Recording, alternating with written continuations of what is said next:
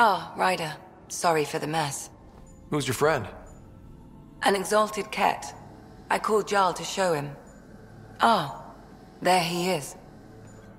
Jaal, look at this. There's nothing Angara inside. The physical can be deceiving. I've run hundreds of tests. Only traces of the Angara genome remain. The Exalted are kett. There must be a way to fix them. Anything's possible. We just have to keep trying. Even from mistakes, we can learn. Thank you, Ryder. What?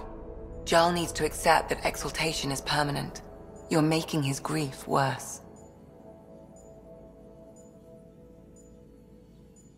I didn't think about it like that. Because you see him as a friend, not a patient. That's why I'm here. To observe and treat. Jaal is part of this crew. His welfare is my responsibility. And you're taking good care of him. Just remember why you came here, too. There is a new alien species on your table. My hands actually shook when I made the first incision.